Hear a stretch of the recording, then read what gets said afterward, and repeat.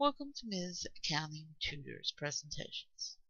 My name is Mary J. Collins and I'll be your host. Today we're covering cash flow statements direct method.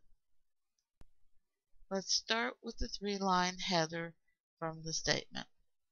Name of the company, title of the statement, and period for which the statement covers.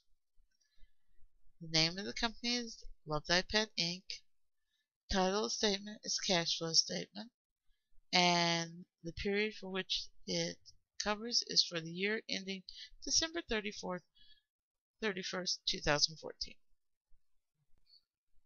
The operating section is the first section of the cash flow statement. We have cash flows from operating activities. We'll have cash receipts from operating activities and cash payments will be subtracted from operating activities. So you will get net cash provided by operating activities, and that will go in the right-hand column. Any subtotals, of course, go one column over. All right, let's start with our example for the operating section.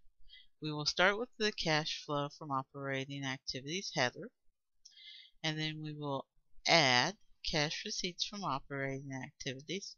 To arrive at this amount, we will Start with revenues from either sales or service and add decreases in accounts receivable or subtract increases in accounts receivable, which in this case will give us $50,000, which is in the left-hand column because we're subtotaling. Next, we will do cash payments from operating activities. To arrive at this total, we will do a number of items. We will start with cost of goods sold, add increases in inventory and decreases in accounts payable, we would subtract decreases in inventory and or increases in accounts payable. We will also look at interest expense. We will add decreases in interest payable or subtract increases in interest payable. Next, we would start with income tax expense, adding decreases in income tax payable and subtracting increases in income tax payable. We would add all three of these together to get the amount we subtract, which in this case was $20,000. Now we will take the 50,000 minus the 20,000 and this will give us net cash provided by operating activities. And we will put that in the far right hand column. Now we have the first two sections, the header section and the operating section of the cash flow statement. Now we'll start with the investing section of the cash flow statement. We'll start with the header, cash flows from investing activities we would subtract purchase of equipment because we're paying money. We would add sales of equipment because that would bring money into the company. We would subtract purchase of investments and we would add back sales of investments. We would then total these, subtracting the negatives, adding the positives to get net cash used by investing activities, which would be a negative amount. If it was a positive amount, we would say net cash provided by investing activities. Next section we have is the investing section of the cash flow statement. We'll start with the header cash flows from investing activities. We will add sales of Intel stock and sales of equipment. These two will have brought money into the company. And then we will have purchase of the building, which is a negative amount since we're paying for the building. And then we will take the positives minus the negatives to get net cash used by investing activities. That is the 10,200 plus the 100,000 minus the 1,000 113,000 is a negative 2,800. And we'll paste that on the right hand column.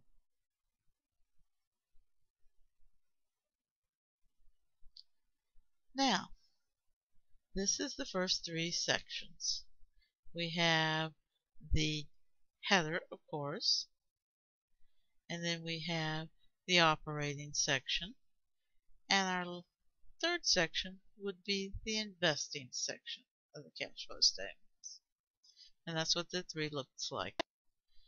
Finally is the financing section of the cash flow statement. We would have the header cash flows from financing activities. We would add sales of common stock because that brings money in, sales of bonds payable which would bring money in. We would subtract redemption of bonds payable and we would subtract payment of cash dividends. On rare occasions, we would also subtract the purchase of our common stock, which we refer to as treasury stock. We would then add the positives, subtract the negatives to get net cash either provided or used by financing activities, and we would put that amount in the right hand column. Of course, we would move all the subtotaling over one column to the left. Let's look at an example. So we have cash flows from financing activities. We have issuance of common stock, which is a positive amount since we're selling that. Negatives would be redemption of bonds, we're, pay, we're paying off bonds payable, and payment of cash dividends to the investors. Those would be negative amounts for 30 and 25 and then net cash used by financing activities because that would end up being negative of 5000 so that covers our final section. Now we have the header section. We have the operating section of the cash flow statement. We have the investing section of the cash flow statement. And we have the financing section of the cash flow statement.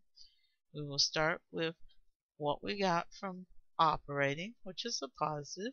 Then we subtract the 2800 we used in investing and the 5000 we used in financing to give us 22,200.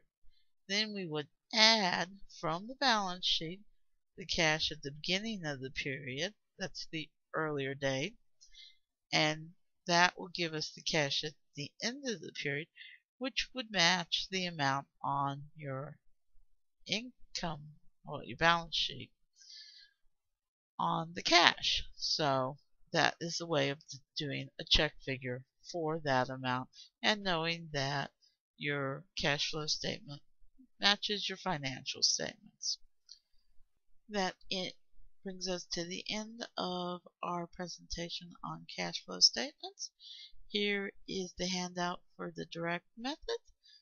Here is also the handout for the indirect method of cash flows, which we will see in later chapters.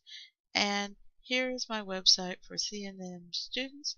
You will need your username and password to access this site.